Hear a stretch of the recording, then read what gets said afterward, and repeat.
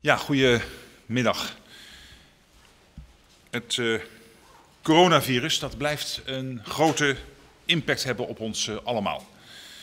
Uh, ik zou zelf deze dagen, donderdag en vrijdag, niet hier staan, bij de Europese Raad. de voorzitter daarvan, Charles Michel, is conform de richtlijnen van de Belgische overheid in quarantaine gegaan.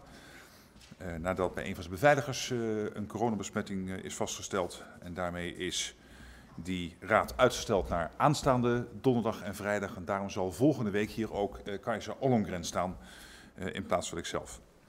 En natuurlijk hebben we ook vandaag in de ministerraad uh, weer uitvoerig gesproken over de verontrustende ontwikkelingen rondom het virus.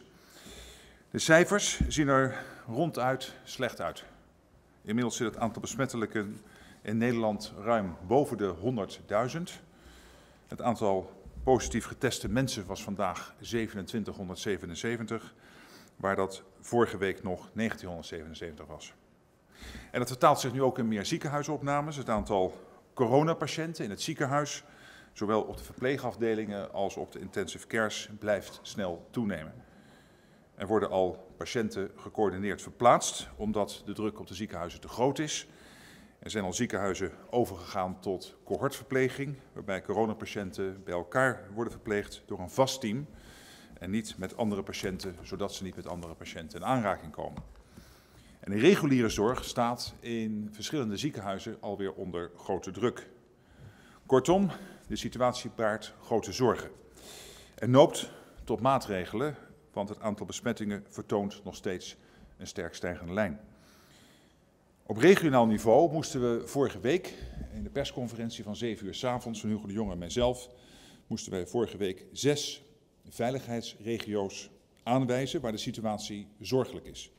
Dus in de drie fases, fase 2, de fase zorgelijk. Nu zien we thans dat nog eens acht regio's daar moeten worden toegevoegd. Want ook daar is inmiddels dat stadium van zorgelijk bereikt. Dan gaat het om Groningen, Brabant-Noord, Brabant-Zuidoost. Brabant-Noord heeft als belangrijkste stad van de regio-burgemeester Den Bosch. Brabant-Zuidoost, daarvan is de voorzitter de burgemeester van Eindhoven.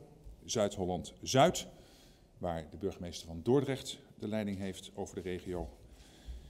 Uh, voorzitter is Gooi- en Vechtstreek met Hilversum, uh, Flevoland met Almere, Zaanstreek-Waterland met Zaanstad en Gelderland-Zuid met Nijmegen.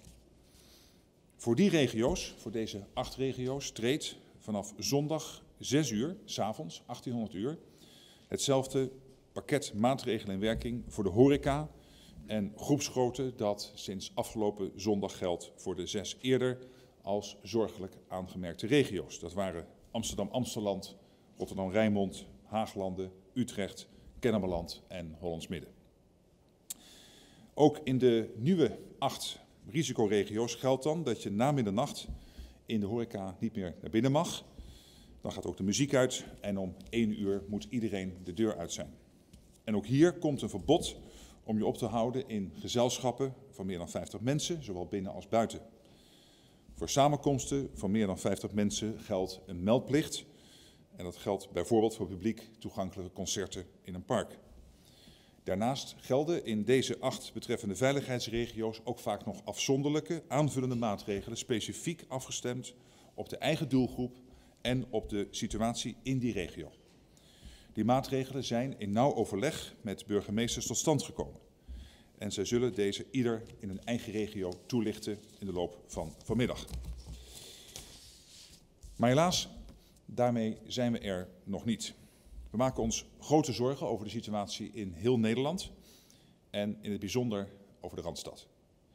Omdat het aantal besmettingen in de grote steden Amsterdam, Rotterdam en Den Haag extra snel oploopt, zijn we in gesprek met die burgemeesters, dus van Amsterdam, Rotterdam en Den Haag, eh, en uiteraard de veiligheidsregio's waar zij voorzitter van zijn.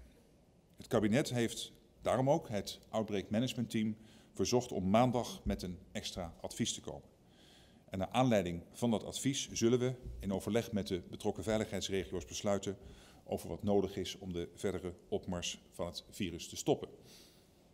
En dat past ook in een terugkeer van een vast ritme in de besluitvorming uh, en de communicatie. We streven naar weer dat terugkeer naar dat vaste ritme. En daarbij is de afstemming met de regio's geborgd, evenals snelheid om, waar nodig, na een OMT-advies te komen tot een gewogen en gedragen pakket aan maatregelen. We willen ook weer een vast ritme richting de Tweede Kamer en in de communicatie, onder andere onze persconferenties. En we denken daarbij nu aan een tweewekelijks vast ritme, een tweewekelijks traject. Natuurlijk hebben we wel te maken met een virus dat zich niet altijd houdt aan onze eigen planning. En dat zich dus ook niet laat leiden in alle gevallen door ons eigen ritme. Dat betekent dat ad hoc besluitvorming en soms ook ad hoc communicatie niet zijn uit te sluiten. Maar de bottom line is dat we in een ritme, in een regelmaat willen communiceren. En op die manier blijft voor iedereen in Nederland duidelijk wat de situatie is en waar hij of zij aan toe is. Want vergeet niet, ik zeg het nog een keer, ons gedrag, niet de maatregelen. Ons gedrag maakt het allergrootste verschil. Wanneer we ons met 17 mensen houden aan alle basisregels, dan dringen we het virus het snelste terug met de minste schade voor onze samenleving en de economie en onze banen.